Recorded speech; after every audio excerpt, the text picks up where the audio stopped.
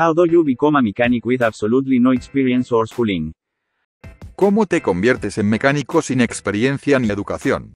Me llamo Tony, y entiendo lo que es intentar conseguir un trabajo en el sector automovilístico. Probablemente ya has aceptado los consejos de mucha gente sobre cómo convertirte en mecánico, pero aún estás buscando ser contratado. También pueden ver a otras personas entrando en el campo, y se preguntan cómo están ahí, pero no lo están.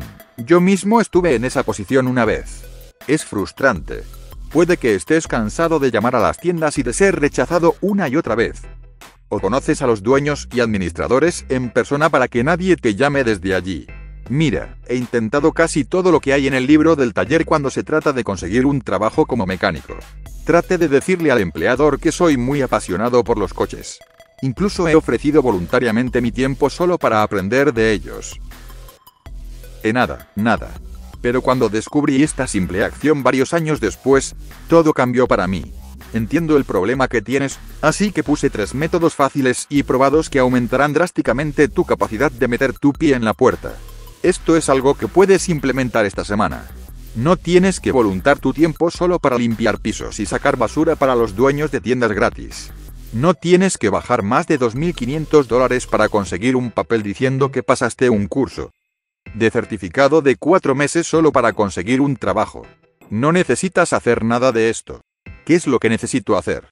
Podrías preguntarte, ¿estás listo para la respuesta? Si estás listo, asegúrate de prestarme toda tu atención. No querrás perderte esto. Esto es lo que tienes que hacer. Método número 1. Decida arreglar el auto de alguien la próxima vez que tenga que repararlo. Eso es todo. Puede ser cualquiera que conozcas. Pídele a tu mamá o a tu papá que arregle un vehículo la próxima vez. Solo decida hacer algo. ¿Cómo puedo arreglar el auto de alguien cuando no tengo experiencia?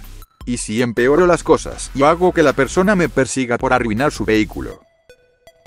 No te preocupes, te tengo cubierto. Lo he hecho tan tonto con estos ejemplos que es difícil arruinar esto la próxima vez que repares el vehículo de otra persona. Bien, entonces el método número 2, ofrezcan cambiar el aceite de motor de alguien la próxima vez que necesiten un cambio de aceite. No necesitas muchas herramientas y conocimientos para hacerlo bien. Solo lleva entre 30 minutos y una hora para los principiantes. Así que hacerlo en una hora significa que te verás casi semi-pro cuando termines con el método de cambio de aceite. Número 3. Ofrezcan cambiar almohadillas de freno y rotores para alguien. Esto toma más tiempo que cambiar el petróleo, pero es solo un poco más desafiante. Puede hacerse en una o dos horas y es bastante sencillo. Eso es todo. Haces estas tres cosas y tus posibilidades de éxito han aumentado 10 veces. Los empleadores considerarán aceptar a alguien que sepa cambiar de aceite y frenos porque esto es un pan y mantequilla en la tienda y es tan fácil de hacer ahora que no tienes ninguna razón para no hacerlo. La próxima vez que conozcas a un empleador, diles que sabes cambiar de freno y aceite. Si te pregunta cómo lo hiciste, Puedes decirle con facilidad. Cuidado con la cubierta en tu favor. Ahora, podría costarte un poco de dinero empezar con herramientas, pero preferirías invertir 250 dólares por tus propias herramientas o 2.500 dólares más para aprender esto en la universidad. Creo que es seguro apostar 250 dólares para asegurarse un puesto en el campo. Y la mejor parte es que puedes empezar esta semana. Si aprendiste mucho aquí y quieres aprender sobre la herramienta secreta que la mecánica usa para encontrar prácticamente todo lo que necesita para reparar vehículos. Type de Web Automotive. Es 100% gratis.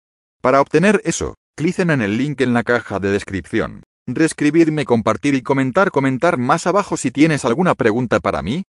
Estaré encantado de ayudar. Muy bien, nos vemos en la próxima.